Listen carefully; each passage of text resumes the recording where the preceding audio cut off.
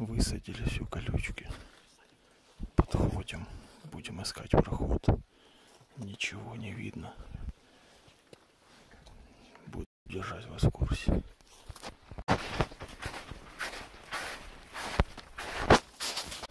Братва, идем по той дороге, которая идет от КПП в сторону Копачей, в сторону станции Припяти.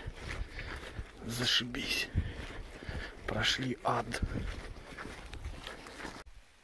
Вряд ли вам видно, но мы стоим под КПП.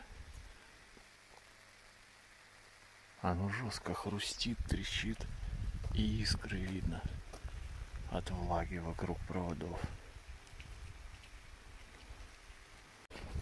Перешли мост через реку Уж. А это значит, что у нас где-то километр остался до ночлега. Мы там займем комфортабельный чердак или два. И будем отдыхать, потому что все уже край.